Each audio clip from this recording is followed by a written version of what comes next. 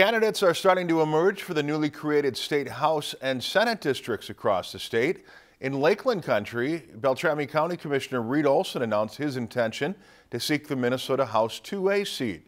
The newly redrawn House District 2A covers the Red Lake Nation, all of Lake of the Woods, and portions of Clearwater County, including Gonvick and Clearbrook, and Beltrami County, including Bemidji, Puposky, and Waskish.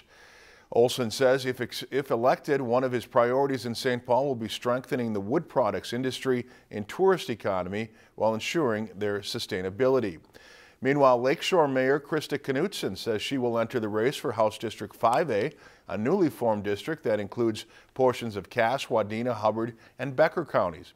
Knutson has been mayor of Lakeshore since 2020 and prior to that served on the city council. She and her husband own Cowboys Restaurant in Lakeshore. She's running as a Republican and has an endorsement from current state rep John Poston of Lakeshore. And former Mille Lacs County Sheriff Brent Lindgren has announced plans to run as a Republican for the Senate District 10 seat.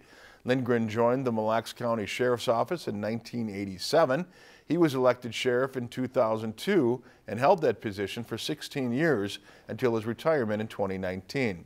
Senate District 10 includes portions of seven counties, including Aitkin, Crow Wing, Mille Lacs, and Morrison in the Lakeland viewing area. Lakeland News is member-supported content. Please consider supporting Lakeland News today.